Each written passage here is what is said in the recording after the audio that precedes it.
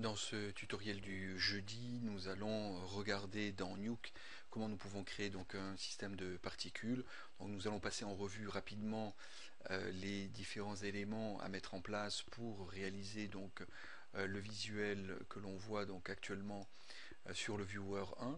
1 donc qui est une chute de neige ici dans un espace montagneux avec donc un zeppelin qui avance dans l'espace ici et on va voir comment donc euh, on peut mettre en place les différents éléments visuels pour réaliser donc euh, l'animation que l'on voit sur le viewer 1 donc pour euh, commencer on a donc ici mis en place trois éléments donc constitutifs de l'espace 3D donc la montagne ici qui est un OBJ sur lequel on vient mettre donc à travers un shader, donc euh, euh, des textures à travers un fond, donc un ensemble donc, de textures de neige avec un fonctionnement donc, de spéculaire, de, de bump et éventuellement de displacement. on y a rajouté donc à la sortie un proc-geo avec donc un scale à 0, un déplacement à 0 un speed à zéro pardon exactement qui permet donc euh, d'avoir euh, une variation de noise sur les crêtes des montagnes qui permet donc euh, d'obtenir ici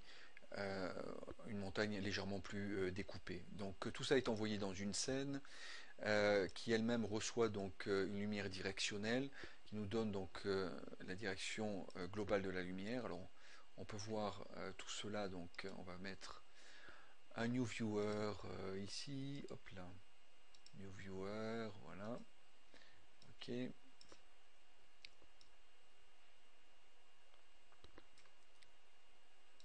Donc euh, ici dans le viewer 2 qu'on vient de connecter donc à l'espace 3D, on voit que l'on a donc une lumière directionnelle ici qui vient euh, de manière latérale, éclairer donc notre montagne mise en œuvre ici en OBJ. Ensuite, donc, on a mis en place donc encore un OBJ avec sa texture qui va être donc les zeppelin ici qui se déplace donc vers la montagne,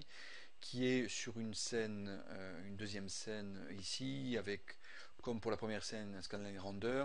et euh, une modification donc euh, à la sortie du scanline render du visuel que l'on obtient tant au niveau de la montagne où on a donc un edge blur qui est mis en place que au niveau donc du zeppelin aussi où principalement donc on a un edge blur pour éroder les bords donc euh, du visuel. Euh, par ailleurs, on aura donc un ciel sous la forme d'un euh, cards qui sera mis donc complètement en arrière-plan ici et qui sera donc mergé avec l'ensemble des deux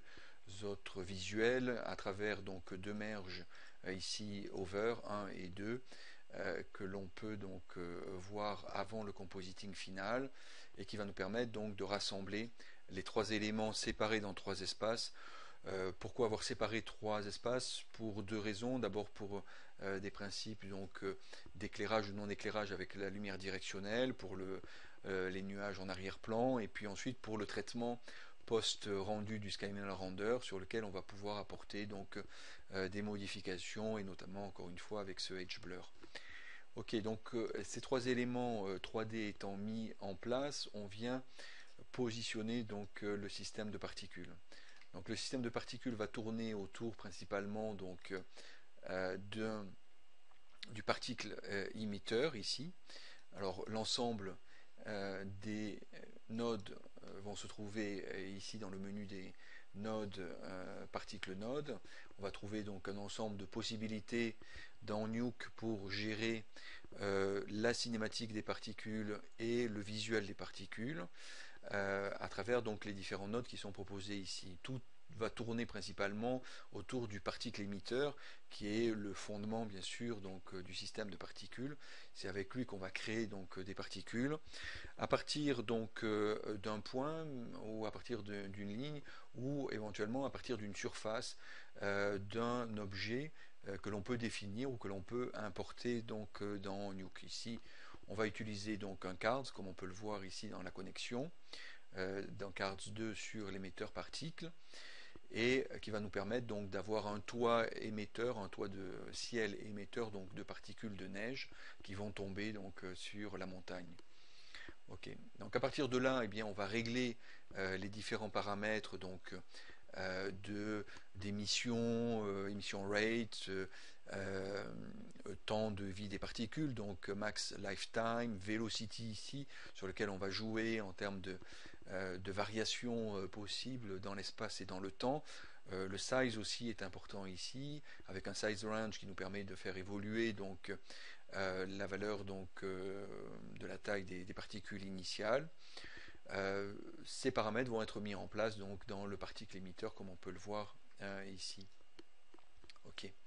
Donc à partir de là, euh, deux éléments qui vont être mis en place pour compléter donc euh, le visuel. D'une part, la connexion donc euh, ici particle sur le particle émetteur. On a deux possibilités principales donc sur le particle émetteur en termes de connexion de ce particle. C'est ce qui va être émis. Donc, soit on peut émettre une particule de type image, c'est ce que l'on fait ici pour faire de la neige, soit on peut émettre une particule de type objet, donc avoir une connexion objet, et à ce moment-là, on peut émettre par exemple des particules de type sphère, et on aura plein de sphères dans l'espace 3D. Donc ici, on va utiliser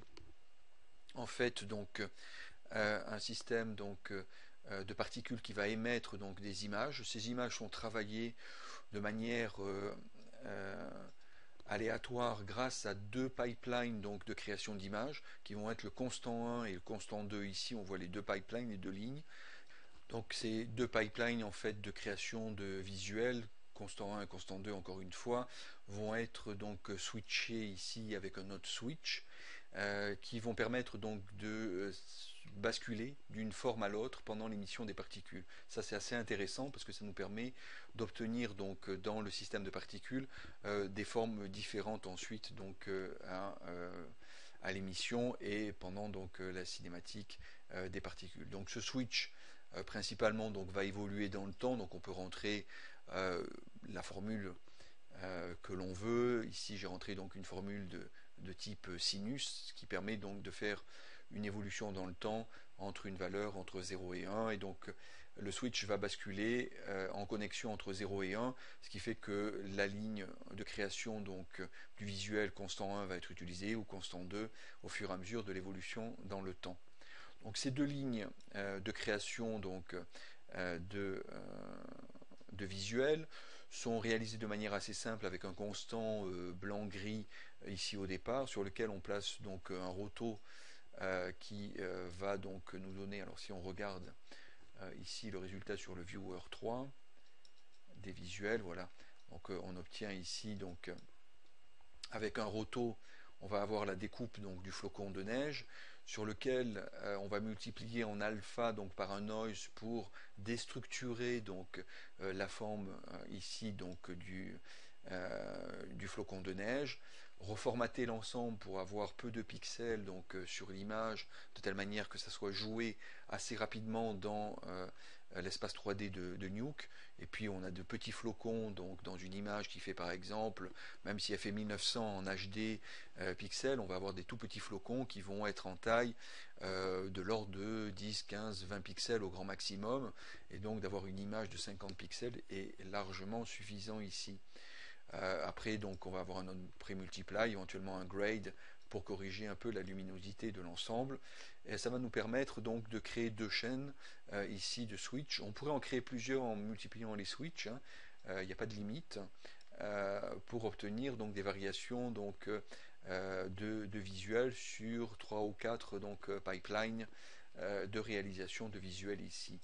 Donc ça va nous permettre donc d'envoyer par le switch donc ce visuel aléatoire dans euh, la connexion particle du particle émetteur qui lui va produire donc les particules en ayant donc l'un ou l'autre euh, des visuels à émettre. Donc voilà ici pour la création du visuel et enfin pour terminer euh, on va avoir donc un particle win que l'on va mettre en place et sur lequel on va faire varier deux paramètres. Donc le particle win a la euh, particularité d'avoir un vecteur directionnel, hein, un peu comme dans tous les systèmes de simulation de particules, que ce soit RealFlow ou Maya par exemple, eh bien, on retrouve un peu les mêmes paramétrages dans Nuke. On a un vecteur directionnel qui nous donne donc bien sûr la direction du vent qui peut évoluer dans le temps. C'est ce qu'on fait ici donc avec le vecteur tout en x, y, z. Principalement, on fait une évolution en x. Et on va faire une évolution au niveau du paramètre drag. Euh, ici, ce paramètre drag est un paramètre qui donne la force donc du vent. Et on va le faire évoluer dans le temps pour simuler un peu des effets de, bourrasque. Donc ces deux paramètres évoluent dans le temps à partir d'expressions de, type euh, euh, sinusoïdal ou cosinus ici. Donc si on regarde ces formulations, on retrouve donc un absolu sinus frame ici que l'on pourra faire évoluer euh, éventuellement donc euh, en fonction de la fréquence que l'on veut donner donc bien sûr euh, au, bourrasque donc des particules donc avec une fréquence donc plus ou moins élevée pour donner un côté très agité donc au vent sur les particules ou quelque chose justement de très ample et très souple au niveau de, ces particules, de leur cinématique. Donc voilà pour une première mise en place euh, d'un système de particules ici. Au niveau donc euh, du visuel, on a travaillé donc sur un effet de, euh, variation de la forme donc des particules. où on peut à loisir donc travailler au niveau de, la forme de la particule avec les rotos, au niveau de la structure de la particule avec les noise et l'effet multiply donc de l'alpha sur le noise et le roto, euh, qui nous permettent donc euh, presque à l'infini d'avoir des formes très différentes, évolutives dans le temps, que l'on va switcher euh, à volonté donc pendant la création des particules. Et là-dessus, on fait des évolutions donc du particle émetteur en termes de size, de rate hein, et de velocity. Tout ça pour être encore transformé par un particle win euh, qui va nous donner donc la direction générale des particules avec une force du vent, une direction et une force du vent qui vont être donc euh, imposées aux euh, particules. Donc voilà une première approche que l'on peut avoir donc sur ce type de visuel. Bien entendu, donc l'ensemble de tous ces paramètres et les expressions qui sont liées et la complexité que l'on peut avoir au fur et à mesure de ces paramétrages et la succession aussi de d'autres euh, nodes euh, de particules que l'on peut mettre en place comme les vortex et je pense notamment euh, aux particle expression qui est très intéressant dans Nuke pour vraiment piloter les particules sont vus dans nos différents tutoriels bien sûr sur ces systèmes donc de particules dans nos formations donc de VFX Compositing et de FX Simulation, où on va rentrer très en détail, bien sûr, sur les différents systèmes de particules que l'on peut créer, au-delà, bien sûr, d'un système de neige comme celui que je viens de présenter, euh, du système de, poussière euh, euh, accroché, par exemple, donc à une voiture roulant sur une route, ou à une explosion, donc où on va générer donc des particules avec des visuels évoluant dans le temps notamment en travaillant sur euh, deux onglets l'on a, dont on n'a pas parlé, euh, mais sur lesquels on peut euh, venir aussi faire des variations, les conditions qui sont relativement intéressantes. Ici, j'ai juste posé une condition de probabilité à 0,7, et puis la région aussi qui peut limiter donc les effets de ces effets donc de champ de force de particules. Donc on voit qu'on a, on, a pas mal de, de notions ici qui sont développées dans le système 3D euh, euh, de création de particules dans Nuke. Hein. On voit que ce n'est pas des petits systèmes de particules ici, qu'on a des choses relativement complexes à mettre en œuvre qui sont très intéressantes. Ça ne vient pas au niveau, bien sûr, de la complexité de, systèmes comme euh, RealFlow ou comme Maya dans les dynamiques et dans les particules, mais on a quand même ici donc de,